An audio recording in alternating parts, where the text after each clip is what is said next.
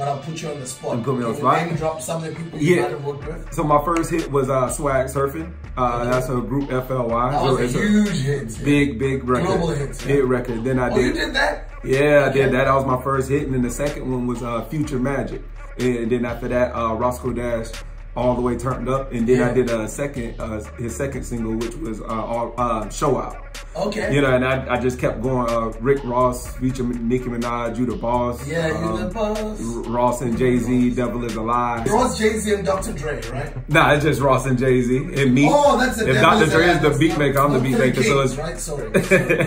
yeah, it's just it's but it's yeah that oh yeah that Three Kings record. Um, but yeah, it was uh Ross and Jay Z. It was a Rick Ross single, and I you know and uh, a lot more. I just I kept going. Yeah, so you'll tell us a little bit more when you do get a chance to, when you do come to join us on the show. Oh yeah, yeah. We'll we'll definitely just just do a whole uh, rundown. I I definitely have a, a great